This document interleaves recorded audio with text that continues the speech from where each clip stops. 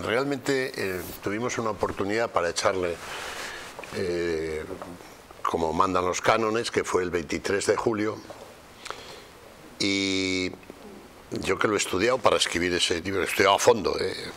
faltaron 34.000 votos al Partido Popular bien distribuidos, hubiera, hubiera podido gobernar. ¿Y sabes cuál fue, aparte de los errores eh, propios ya eh, conocidos, que también describo ahí, fue una declaración de Santiago Abascal cuando dijo que iba a,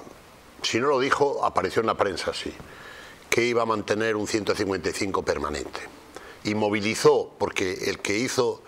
eh, el que sostuvo en el gobierno, el territorio que sostuvo en el gobierno a Sánchez fue Cataluña, por la extraordinaria movilización y además hay que ver la distribución de escaños. Y ahí, eh, en el cómputo general solo hay cuatro escaños de diferencia entre un bloque y otro.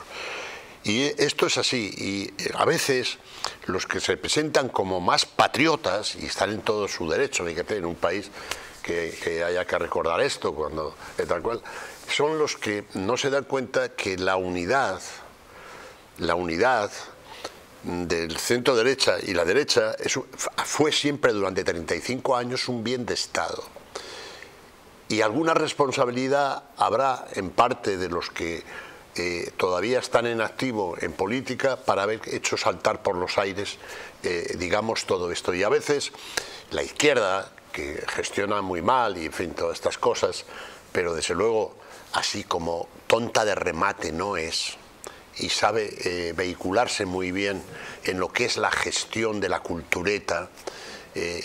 no se le puede dar ni un ápice de ventaja, porque lo estamos viendo incluso cuando el detritus te está superando y te ha enterrado, aparecen ahí dándole, eh, exhibiendo una superioridad moral que no se tiene. Entonces, claro, 12 millones de votos, 11 millones y pico de votos, que hubiera servido como sirvió en el 2011 para tener una mayoría absoluta. Oye, dicho eso, el señor Abascal o cualquiera otra, hoy se ha presentado un nuevo partido, por cierto, eh, que va aún más a imposibilitar eh, eh, el recambio del poder, porque aunque quites 100.000 votos en una, en un, o 30.000 votos en una circunscripción clave, te has hundido.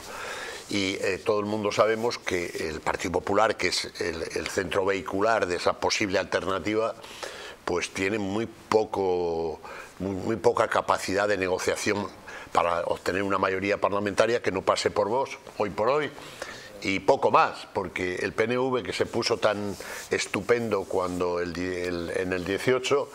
oye, ahora como ya le han traspasado las mercancías, no sé qué, y, el, eh, no sé qué puerto, pues ya eh, todos están contentos. Y, hasta aquí